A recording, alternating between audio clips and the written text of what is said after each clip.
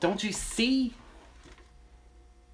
And I've had such an obsession over just those pictures alone. It just looks like an overgrown house sparrow. It looks like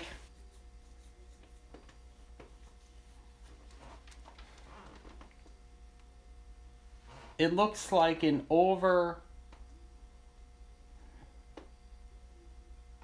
let's see it looks like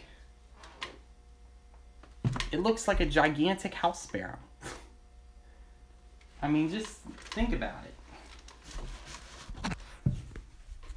i mean this red-tailed hawk couldn't be the predator that you see right here. It couldn't be. Could it? I just think it's very cool that they are opportunistic eaters just like crows.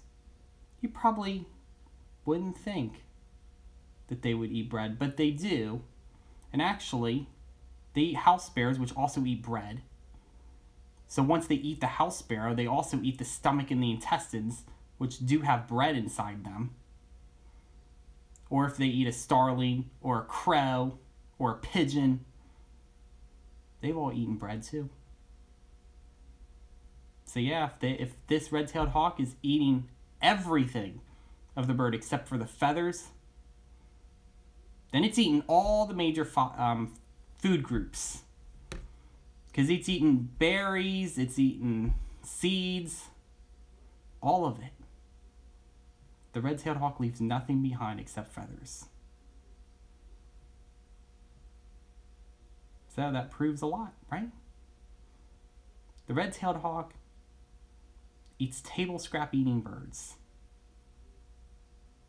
Isn't that a surprise? Well, doesn't really matter. I'm going to train a red-tailed hawk to hunt.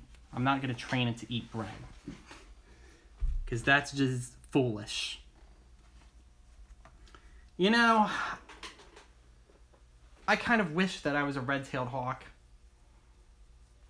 I mean, being able to eat prey is probably no easy task, let alone hunting for it. They have the digestive system to be able to survive on that kind of stuff. You know, um, it's kind of weird me saying this, but I never get sick. I feel like I can pretty much eat anything. But I probably can't.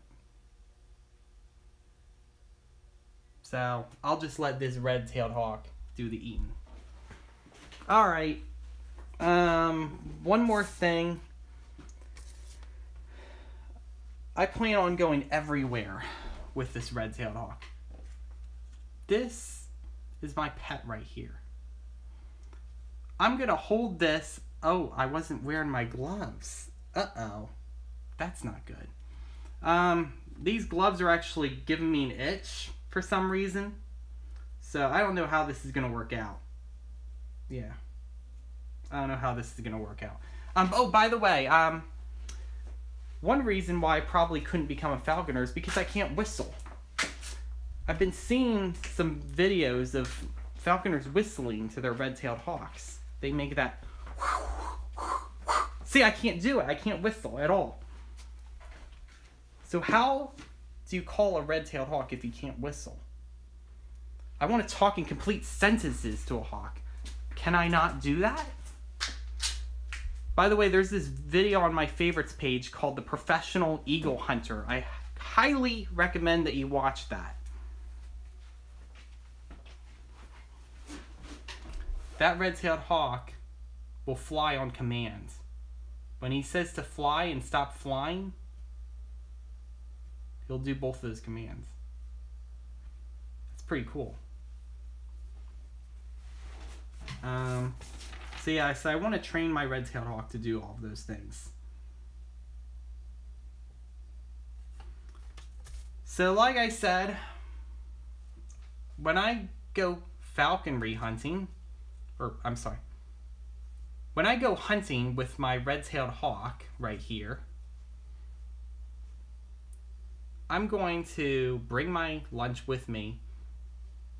And all I'm going to do when I'm done hunting, if I have hunted successfully, is I'm going to eat the lunch that I've hunted it as well. Strangely.